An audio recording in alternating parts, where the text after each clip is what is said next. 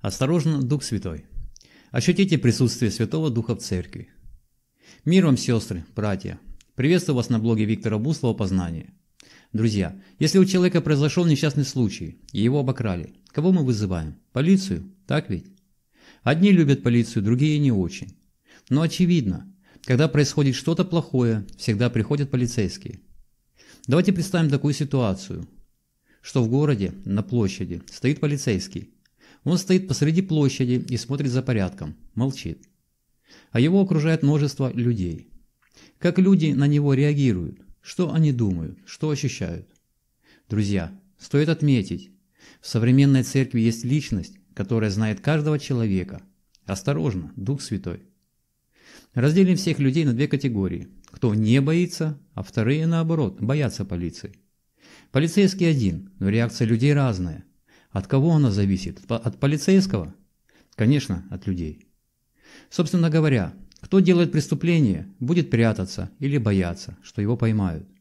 А обычные, честные люди наоборот, будут в какой-то мере рады, что он стоит на площади. Значит, будет порядок и не будет беспорядков, и можно спокойно отдохнуть. Поступки человека открывают мотивы. То есть реакция человека напрямую зависит от поступков самого человека – он делает преступление или нет. Поступки человека формируют его отношение к этому полицейскому. В Божьем строении на земле, церкви, есть Дух Святой. Причем, когда человек приходит в церковь, собрание, общение верующих, там всегда присутствует Дух Святой. Стоит отметить, он видит все, что происходит внутри каждого человека, его поступки, мотивы. Друзья, как это прекрасно, что нам даже нечего говорить не нужно, а Бог знает наше сердце. Жаль, что наши окружающие так не могут, так ведь? Но это как реакция на полицейского. Помним, полицейский на площади? Не все, кто приходит на площадь, хочет просто отдохнуть. Некоторые хотят воровать, пьянствовать, хулиганить. Откройте для себя силу Святого Духа. Осторожно, Дух Святой и сила Его. Как она может принести искупление и освобождение? Присоединяйтесь к нам, когда мы исследуем присутствие Святого Духа в общине и преобразующее влияние, которое он может оказать на отдельных людей. Не пропустите эту просветляющую дискуссию. Подпишитесь сейчас, чтобы посмотреть больше видео о духовном росте и учении о вере. Друзья, когда вы ставите лайк или делитесь, в результате вы помогаете служению спасения и распространению Слова Божьего. Чистое намерение. Что и говорить. Не все, кто приходит в церковь, имеют чистые намерения. Неискренность в поступках – грех против Бога. Сбиваясь на путь лжи, мы грешим против Духа Святого, движущего нашими сердцами. Друзья, в церкви, собрании верующих всегда присутствует Дух Святой, который видит все. Все намерения сердечные, и милость, и искренность. Более того, чистота и лукавство – ничто не скрыто перед Духом Святым. Сегодня мы посмотрим, как Бог воздает на поведение и намерение человека. Как это увидел друг Бога Давид. Бог не меняется. Он сегодня такой же. Искренность в наших поступках – это любит Бог. Более того, идя по дороге искренности и чистоты с Богом, мы искренне и чисты с Духом Святым, который движет нашими сердцами. Мы детально рассмотрим историю Ананию и Сапфиры, как это было 2000 лет назад, на поведение в церкви, общение святых. И сегодня это не меняется. Осторожно, Дух Святой. Посмотрим, почему я применил фразу «Осторожно, Дух Святой». Давайте посмотрим на Давида, царя на земле и друга Бога. Он видел Бога и открыл, описал нам такую черту Бога, как воздаяние.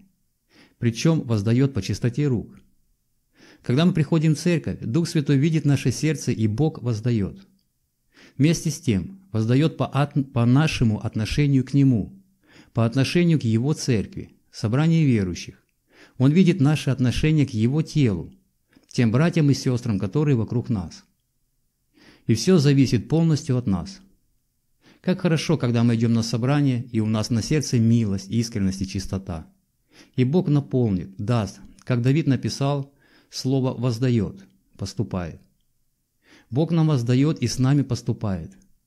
С милостями ты поступаешь милостиво, с мужем искренним искренно, с чистым чисто, ибо ты людей угнетенных спасаешь.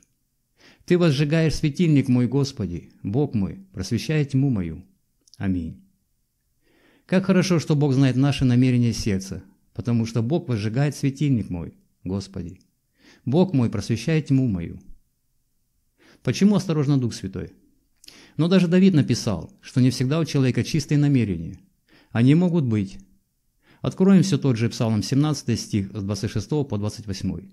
«С милостивым ты поступаешь милостиво, с мужем искренним искренно, с чистым чисто, а с лукавым по лукавству его. Ибо ты людей угнетенных спасаешь, а очень надменные унижаешь». Псалом 17 стихи с 26 по 28. Иные могут прийти и иметь намерения лукавые, очень надменные. Когда в церковь приходят люди лукавые, гордые, Дух Святой видит все. Но Бог не только видит, Он воздает.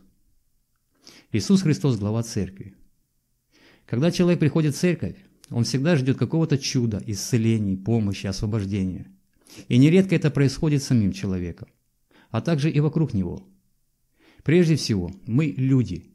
Неоднократно убеждаемся, что Бог есть. Чудеса, исцеления, освобождения тоже происходят. Бог силен, как и 2000 лет назад, все так же делает чудеса. Но всегда нужно помнить, что Бог сильный воздать, поступать. Сила одна. С милостивым милостиво, с мужем искренним искренно, с чистым чисто, а с лукавым по лукавству его. Ибо ты людей угнетенных спасаешь, а очень надменные унижаешь. Именно так сказал Давид. Все это одной рукой, одной силой. Но в чем секрет поступков к нам, Бога? Стих 25. «И воздает мне Господь по правде, по чистоте рук моих перед очами Его». Секрет в нашем отношении к Нему и наши дела перед Ним – Секрет в нашем отношении к Церкви Его, Церкви Иисуса Христа и наши дела в общении святых перед Ним. Откроем послание Ефесянам 1 глава, стих с 21 по 23. «Превыше всего, превыше всякого начальства и власти, и силы, и господства, и всякого имени именуем не только в всем веке, но и в будущем. И все покорил под ноги Его, и поставил Его выше всего главою Церкви, которая есть тело Его, полнота наполняющего все во всем». Это послание к Ефесянам 1 глава, стихи с 21 по 23. Друзья, и сегодня церковь принадлежит Иисусу Христу. Он все так же является главою и смотрит за всем, что происходит в церкви, за всеми, кто приходит в церковь и хочет стать членами поместной общины. Друзья, сила и служение Духа Святого. Ощутите присутствие Святого Духа в церкви. Мы все знаем, что делает Дух Святой сейчас на земле – он присутствует и окутывает всю землю и говорит каждому, каждому человеку на планете о грехе, правде и суде. Как только человек приходит к Богу с верой в Иисуса Христа, тех Бог сделает детьми Божьими и исполняет, наполняет Духом Святым. Откроем Евангелие от Иоанна, 14 глава, стихи с 15 по 18. «Если любите Меня, соблюдите Мои заповеди, и я умолю Отца и даст вам другого утешителя, да пребудет с вами вовек. Духа истины, которого мир не может принять, потому что не видит его и не знает его. А вы знаете его, ибо он с вами пребывает и вас будет. Не оставлю вас сиротами, приду к вам. И это Евангелие от Иоанна, 14 глава, стихи с 15 по 18. Дух Святой пришел, чтобы помогать, служить детям Божьим. Что Он и делает – он освободил нас от закона греха и смерти и вводит в закон Духа жизни. Безусловно, Он присутствует в нас, освещает, ведет по жизни, свидетельствует нам и окружающим. А в конце времен Он воскресит всех людей Божьих и освободит во всей полноте. Все это делает сейчас Дух Святой. Дух Святой видит все. По счастью, в Церкви Божьей, теле Христовом, общении верующих Дух Святой присутствует лично – он видит все помышления и намерения наши. И для некоторых осторожно Дух Святой становится актуальной. Друзья, мы перед тем, как идем в церковь, должны проверять свои помышления и размышления о церкви, телу Христовому, о тех ближних вокруг нас в нашем общении, церкви, собрании, как и на причастии. Помните такие случаи из Библии, в которых были показаны нечистые поступки людей? Это, например, Деяние, 8 глава, 9 стих. Находился же в городе некоторый муж именем Симон, который перед тем волховал и изумлял народ самарийский, выдавая себя за кого-то великого, который хотел получить Духа Святого за деньги. Анания и Сапфира. Хочу посмотреть более детально на случай с Ананией и Сапфирой. Откроем книгу Деяния, 5 глава, стихи с 3 по 5. Но Петр сказал, «Анания, для чего ты поступил, для чего ты допустил сатане вложить в сердце твою мысль, солгать Духу Святому и утаить из цены земли? Чем ты владел, не твое ли было, и приобретенное продажей не в твоей ли власти находилось? Для чего ты положил это в сердце твоем? Ты солгал не человеком, а Богу. Услышав сии слова, Анания пал бездыханен, и великий страх объял всех, слышавших это. Это книга Деяния, 5 глава, стихи с 3 по 5. И это было все в Иерусалиме. Причем было пробуждение, покаяние в неверии и спасение через воскресение Иисуса Христа. И вот эти люди начали собираться, продавать свои имения и покрывали нужды друг друга. Как это было прекрасно! Скажите аминь, друзья! Вместе с тем, Анания и его жена захотели иметь то, что дал, воздал, и как поступил Бог с Варнавой. Хотели также приобщиться к этому, но никто не заставлял их это делать, продавать дом. На самом деле, неискренность в поступках – грех против Бога. Сбиваясь на путь лжи, мы грешим против Духа Святого, движущего нашими сердцами. Искренность в поступках.